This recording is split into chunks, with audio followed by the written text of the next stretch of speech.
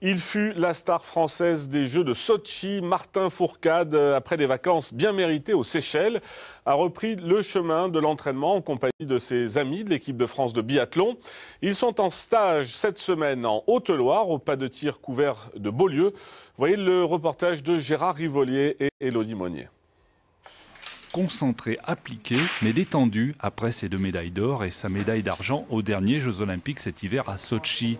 Pour Martin Fourcade et toute l'équipe de France, c'est la reprise après une pause assez courte. Là, il s'agit de profiter des superbes installations indoor du club de Beaulieu pour travailler le tir à la carabine à 50 mètres. C'est pas du tout les mêmes sports.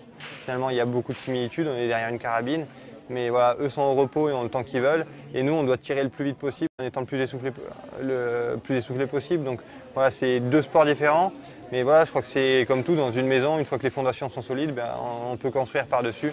Revoir les bases et la précision du tir sans les contraintes liées au ski et à l'extérieur, voilà l'objectif du stage. C'est un ancien médaillé olympique de tir, Franck Badiou, médaille d'argent à Barcelone, qui apporte ses conseils. Là, vous avez vu que Martin est capable de faire des choses exceptionnelles en termes de précision, mais on sait qu'il n'en a pas tout à fait besoin sur le tir de biathlon où la cible est un peu plus grande et heureusement qu'elle est plus grande parce que c'est bien assez difficile. Mais malgré tout, grâce à toutes les ficelles, les petites combines qu'il a pu voir tranquillement posées, ben, il pourra interpréter et s'adapter aux circonstances du moment. L'effet JO en tout cas est bien là. À la pause, les sportifs sont assaillis par les jeunes d'un club local de biathlon, photo et autographes, notamment pour Jean-Guillaume Béatrix, rentré lui avec une médaille de bronze, et bien sûr pour la star du jour, Martin Fourcade. Il est très fort, on, se paraît tout, petit par rapport à lui euh, quand on le voit tirer.